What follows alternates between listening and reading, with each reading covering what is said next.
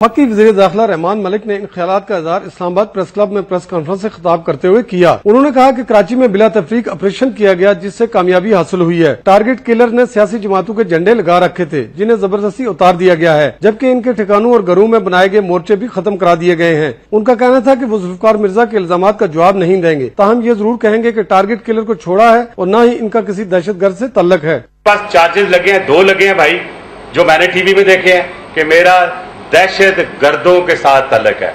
मैं थोड़ी देर पहले वही इशारे से बता रहा था, खुल के बता देता हूँ कि मेरा किसी दहशत गर्द से तलक नहीं है। पहले का भी और आज का भी कि मैंने टारगेट किलर छोड़े हैं, मैंने कल भी कहा, मैंने कोई नहीं छोड़ा। अगर किसी के पास सबूत हो तो लेके आए। रहमान मलिक ने साफियों को पेशा वाराना जिम्मेदारियों के सिलसिले में पेश आने वाली मुश्किल के हवाले से वजारत दाखिला में खसूसी सेल भी कायम करने का हुक्म जारी किया। ये मीडिया सेल साफियों की शिकायत सुनेगा, जिसकी सरबराही सेक्रेटरी दाखिला करेंगे।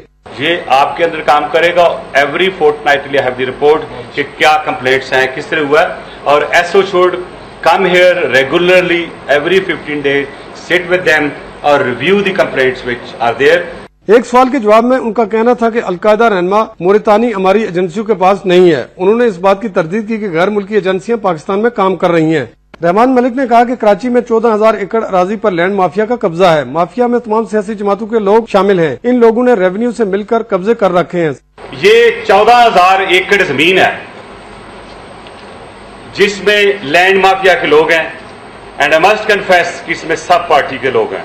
रहमान मलिक ने बाद Australian custom and border protection agency के सरबरा माइकल पीजलो के साथ मुश्तर प्रेस कॉन्फ्रेंस से खिताब करते हुए मनी लॉन्ड्रिंग और इंसानी स्मगलिंग को रोकने के लिए एक मुश्तर टास्क फोर्स कायम करने का भी ऐलान किया। आज़ाद कश्मीर के सदर सरदार मोहम्मद याकूब खान ने भी वज़ीर दाखिला रहमान मलिक से मुलाकात की। इस मौका पर सरदार मोहम्मद याकूब खान ने आज़ाद कश्मीर पुलिस फोर्स की इस्तेदाद कार बढ़ाने पर वज़ीर दाखिला रहमान मलिक का शुक्रिया अदा किया। कैमरामैन अकमल सत्ती के साथ सरदार हमीद वक्त